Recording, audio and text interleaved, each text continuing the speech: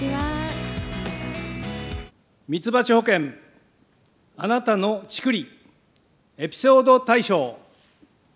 愛犬に長生きしてねと手料理を振る舞いただいまと帰宅した私にはレンジでチン私より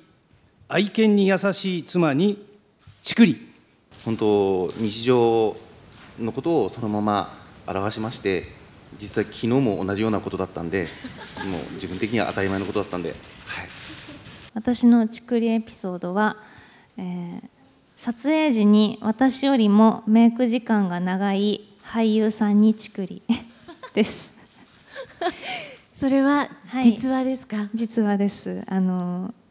身内を売るのは良くないとは分かっているんですけれども あの映画で一緒に共演した若いあのモデル出身の俳優さんなんですけれども、はい、たまにそのことをちらっと話すとまた話したでしょうっていうふうに言われるので あの本人的にはそんなに怒ってないと思うんですけど。保険どれくらい入りましょう？そうですね。なんか私と保険って言うとどうしても保険金ってなっちゃうので そこは避けたいので控えめにね